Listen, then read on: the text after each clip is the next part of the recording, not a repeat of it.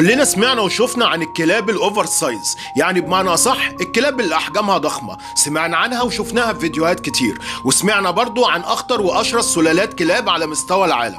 إنما إن إحنا نسمع إن في كلاب محددة الأسامي إن الكلاب دي من أخطر وأشرس خمس كلاب على مستوى العالم ده اللي هنشوفه في الفيديو ده. في الفيديو ده هعرض لكم أخطر وأشرس خمس كلاب على مستوى العالم في فئة ال extreme X large يعني بمعنى صح ال American pitbull X large والحصر ده جديد علينا والأول مرة هنتفرج عليه. والجديد اللي عايز أقوله لكم إن في القناه دي هعرض لكم مش اخطر وخمس كلاب في فئة ال pitbull X large بس. لا ده هيكون إن شاء الله موجود معانا في معظم سلالات الكلاب اللي بنحبها وبنحب نربيها قبل ما ندخل على الفيديو انزل اشترك في القناة واعمل أحلى لايك منك للفيديو وأقابلكم بعد ال intro.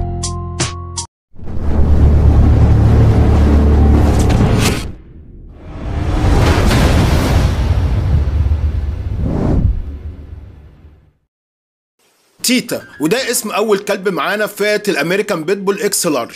وزنه بيوصل ل 71 كيلو جرام وارتفاعه بيوصل من أول القدم لحد الكتف ل 70 سنتيمتر. عايز أقول لكم إن الكلب تيتا كلب أسباني وسبب شهرته العالية مش ضخامة عضلاته وضخامة حجمه بس. لا ده كمان بسبب شجاعته وإقدامه والشراسة المفرطة اللي موجودة عنده. ودي هوريها لكم في فيديوهات جاية بعد كده. ندخل على الكلب التاني على طول ال Red Bear أو الدب الأحمر. عايز أقول لك إن اتسمى الاسم ده في أمريكا لأن وزنه كان قرب يوصل للكلب كلب هالك وزنه 72.6 من 10 كيلو جرام وارتفاعه بيوصل من أول القدم لحد الكتف ل 80 سنتيمتر. عايز أقول لك إن ال Red Bear من الكلاب اللي تقدر تقول عليها الكلاب المثالية. يعني بمعنى صح كلب مثالي في كل حاجة. كلب نموذج وما بيخشش أي show إلا لما دايما بياخد مراكز متقدمة فيه. يعني كلب standard بمعنى الكلمة في فئة ال American pitbull X large. شبيه الكلب هالك.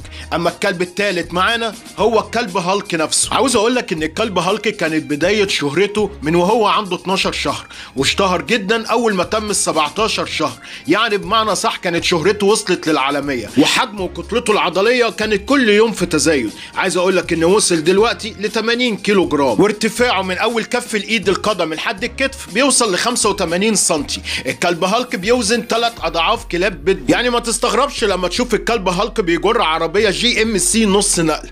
هو ده كان الكلب هالك. نخش على الكلب الرابع. Demon Rika أو الشيطان ريكا. وزنه بيوصل ل 99.5 من 10 كيلو جرام. يعني أزيد من الكلب هالك زي ما أنت شايف كده بالظبط. والسبب إن يسموه Demon Rika أو بمعنى أصح الشيطان ريكا بسبب شراسته. شراسته اللي زايدة عن اللزوم. يعني بمعنى أصح كمية العدائية المفرطة اللي عنده. وده مش تجاه الحيوانات بس. لا أنا عايز أقول لك إن هو كمان تجاه الأشخاص كمان. والغريب إن صاحبه طلع قال أنا ما أنصحش إن حد يقرب منه أو حتى يطبطب عليه. هو للفرجة وللعرض بس. نخش على الكلب الخامس. الكيكوا. أو الكلب إليس كيكوا. عايز أقول لك إن وزنه بيوصل ل 102 كيلو جرام وسبب شهرته وزنه الزائد وحجمه الضخم وشراسته المفرطة العالية جدا. وعايز أقول لك إن صاحبه اللي هو المالك ليه سعى بشكل كبير إن ينزل من وزن الكلب بتاعه. وده بسبب مشاكل صحية سببها الوزن الزائد اللي كان زيادة عن اللزوم. وبعد ما كان متصدر أغلفة المجلات بسبب حجمه الزائد لا عايز أقول لك إن دلوقتي بقى وزنه بالنسبة لأي كلب تاني وزن عادي. وبكده أنا عرضت لكم أخطر وأشرس وأضخم خمس كلاب على مستوى العالم